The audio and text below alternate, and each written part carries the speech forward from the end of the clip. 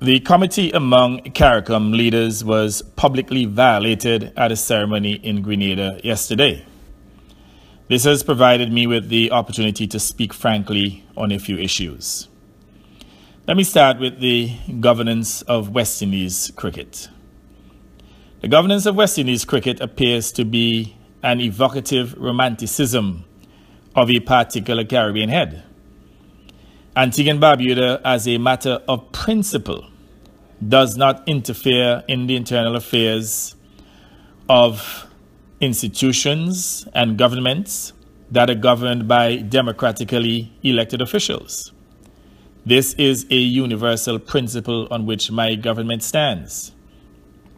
The core members of the West Indies Cricket Board, to the best of my knowledge, were democratically elected by the territorial boards.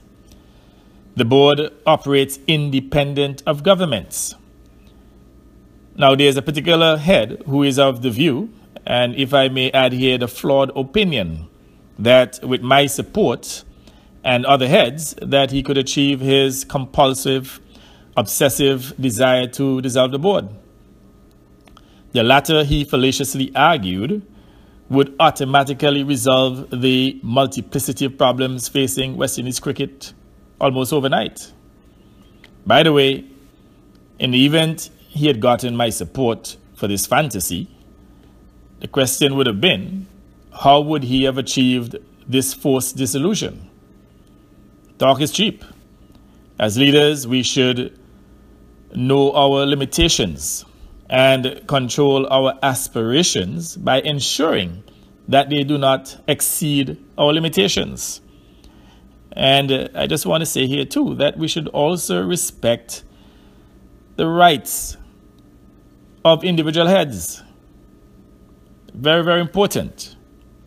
Now, there are a couple of issues that I would like to touch on. And the next one that I would like to address is the whole issue of Venezuela and the crisis in Venezuela.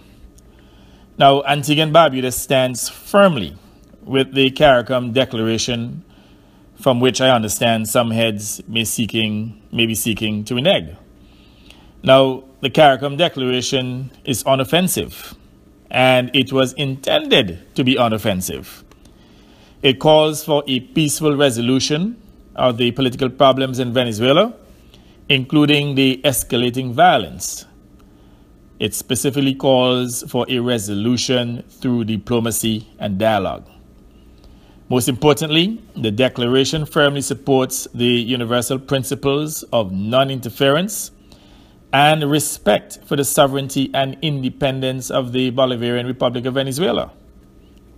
As far as we're concerned, adding offensive language to the declaration could offend the sensibilities of the parties concerned or may even embolden the parties to become even more uncooperative and violent. Now, in the event there are clandestine motives for regime change in Venezuela, CARICOM should not be utilized as a stalking horse for regime change or for external intervention, be it wittingly or unwittingly, in the internal affairs of Venezuela. Now, an ungovernable Venezuela represents a greater security risk to the hemisphere and certainly to the Caribbean region than the present untenable situation, which is of serious concern. So, I just want to recommend that we deal with this issue in a very sensitive manner and that we do not allow others to bully us into passing any offensive declaration that will undermine the attempt to achieve a resolution to the violence in Venezuela through diplomacy and dialogue. Now, insofar as the policy on LIAT is concerned,